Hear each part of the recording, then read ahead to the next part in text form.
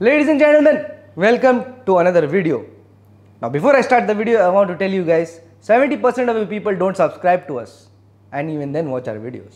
Subscribe करके देख लो यार फायदा होगा क्या फायदा मतलब बिना सब्सक्राइब देखने का so regardless let's talk about what video about today is usually when people are buying RAM sticks वो लोग मेगाहर्ट्ज और क्लॉक स्पीड देखते हैं और आर देखते हैं दैट्स इट हो गया ये मेरे को बत्तीस सौ की चाहिए और उसमें रैम आठ जी बी भर भर के चाहिए। दैट्स इट लेकिन नहीं, ऐसे आपको रैम नहीं खरीदना है और इस वीडियो में हम उसी की बात करेंगे। So do stay tuned and watch till the end so आपने नई रैम ले ली, नई रैम से अनबॉक्स कर ली, उस पर देख लिया आपने चार पाँच number.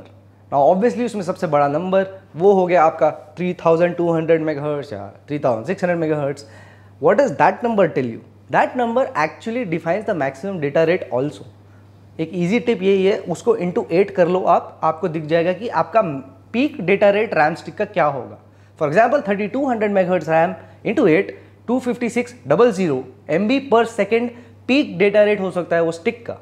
But then again that doesn't give you the entire picture about that RAM stick because latency matters now latency exactly क्या होता है now latency basically is a measurement of time बस in usual cases lower latency is good now let's get into what those other four numbers are all about starting off जैसे कि आप RAM stick पे देखोगे 18 slash six eight the very first number 18 C A S column axis strobe. Now what is that number telling you?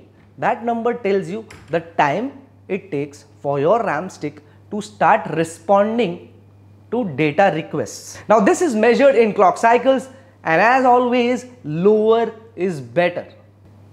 However, तो हमको पता चल गया कि कैश लेटेंसी लो होना चाहिए लो वाली लेटेंसी वाली रैम लेनी चाहिए हमको लेकिन लेकिन रियल वर्ल्ड लेटेंसी का कैलकुलेशन होता है cache into two thousand divided by RAM वाला मेगा हर्ट्स नाउ इससे हमको पता चलता है कि real world latency nano seconds में क्या होगी फॉर एग्ज़ाम्पल एक 2400 की stick with cache latency of 13 इसका रियल वर्ल्ड लेटेंसी कैलकुलेट होगा 10.83 point nanoseconds now on the other hand 3200 की मेगाहर्ट्ज की स्टिक ले लो, और उसका अगर लेटेंसी सी एस एटीन है तो उसका रियल वर्ल्ड लेटेंसी कैलकुलेशन आएगा 11.25 now the obvious thing you will say कि बॉस 2400 वाली का लेटेंसी लो था तो वो वाली ज़्यादा अच्छी है.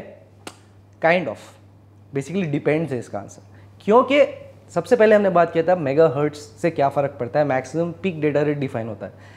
तो यूजुअली लेटेंसी कम भी होनी चाहिए और हमारा स्पीड भी ज़्यादा होना चाहिए। दोनों ही अच्छा है आपके रैम चॉइस के लिए। ना what is the next number tell you the next number is T R C D otherwise known as row address to column address delay now row address to column address delay क्या होता है? If you think about it RAM is setup kind of like an Excel sheet तो basically वो एक रो में जा रहा है और वो कॉलम में जा रहा है और वो ढूंढ रहा है हाँ डेटा यहाँ है। So T R C D is basically the delay between getting to that data kind of easy way में बताऊँगा तो क्योंकि वो एक एक्सेल शीट ग्रिड टाइप है। So moving ahead the next number the next number is T R P या row precharge time the time it takes to open a new row basically ये वो होता है। उसके आगे बढ़ते हैं। The next number is T R S row active time now what is row active time वो एक्चुअली क्या होता है? The amount of time the row needs to be open so that data is return effectively और read effectively तो ये भी matter करता है।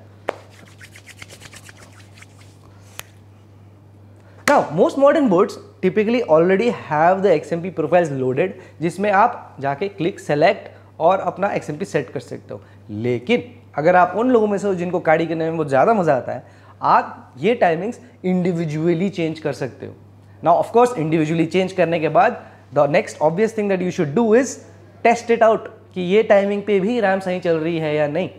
इट कुछ केसेस में चलेगी, कुछ केसेस में नहीं भी चलेगी. थोड़ा बहुत टिंकरिंग से आपको फ़ायदा मिल जाएगा. इन केस वो नहीं चल रही है you can always reset your BIOS and go back to the default stock settings in case आप ज़्यादा एडवेंचरस नहीं हो एक्स पे चला लो, वो होता है, उस पर चल जाता है.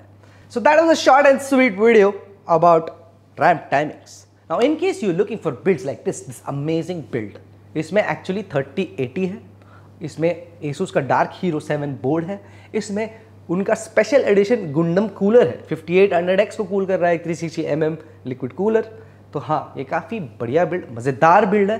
This is shipping all the way to Maharashtra if am not mistaken so yes in case you want build like these we have stock and we ship them across India. Gaming builds, editing builds, VFX builds, server builds, machine learning builds, sab kuch.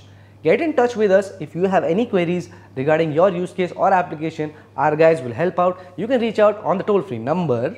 You can reach out on our social handles. You can also email us on support at themvp.in. Hope you liked watching the video. और हाँ please subscribe कर लो यार like तो करना ही है आपको please thank you for watching उसको sorry यानी कि कॉलम एक्सेस